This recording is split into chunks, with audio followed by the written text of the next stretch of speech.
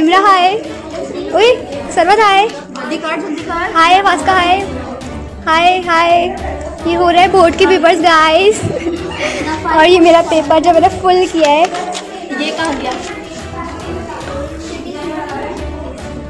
है? और ये मिस बहुत अच्छी है।